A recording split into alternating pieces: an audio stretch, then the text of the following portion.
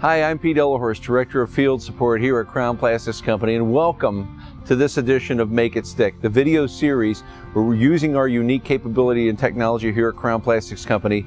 We can take our Dura-Surf UHMW products and help make them stick for you. As you know, there are many, many opportunities where UHMW can be adhered in a wide variety of applications. But one of the things we have to understand is that pressure sensitive systems do have some limitations. There are markets, there are some substrates where pressure sensitive systems are not going to work very well. Now, whenever we come across a situation like that, we like to recommend what we call our treated for bonding material. And what we'll do in this case is we'll take our Dura-Surf UHMW material and we'll actually treat it where it can be bonded with a variety of liquid adhesive systems such as contact cements or epoxies. One such environmental application would be the marine industry. This is a very harsh environment. It really exceeds uh, what a pressure sensitive system can do. Currently, there are four areas of the marine market that we're involved. Number one would be the drift boat market, which primarily exists up in the Pacific Northwest.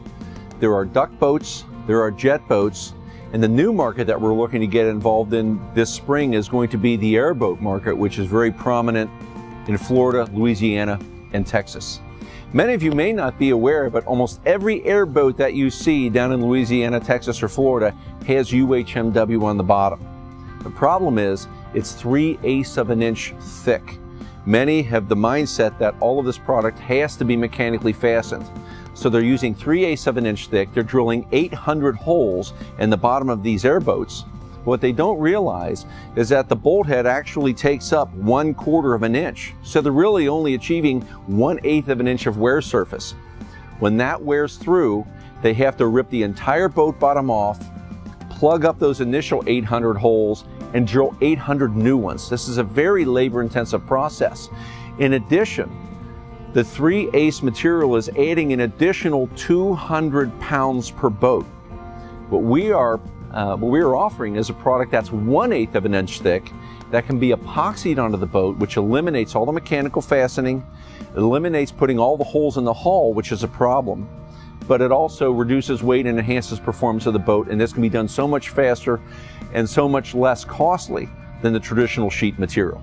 Let's show you how we do it.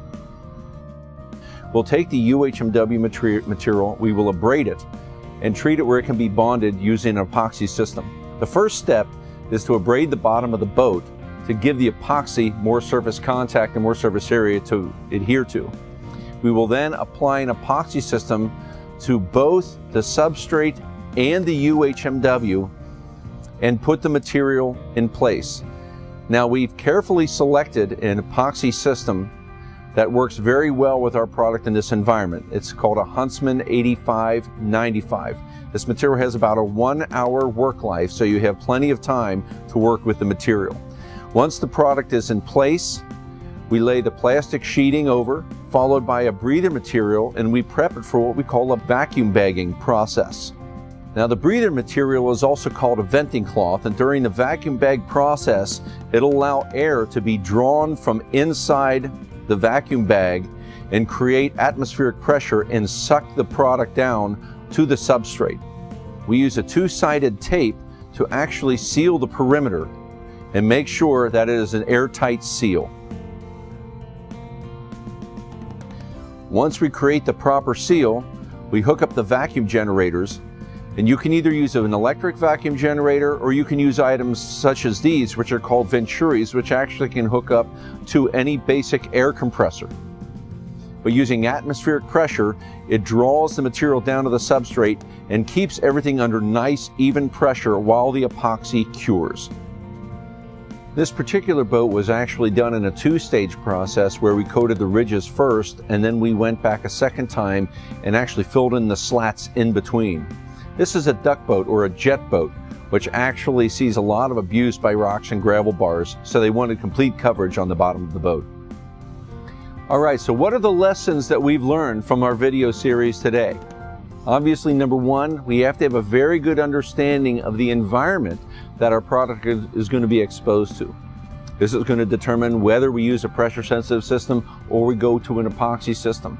But either way, that is going to determine, number two, the adhesive selection that we go with.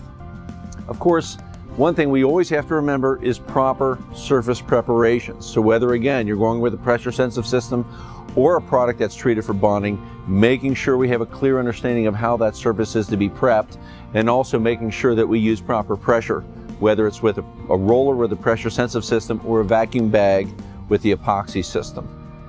So again, we invite you to send some suggestions to us at crownplastics.com and together we'd like to show how we can make Dura-Surf stick for you.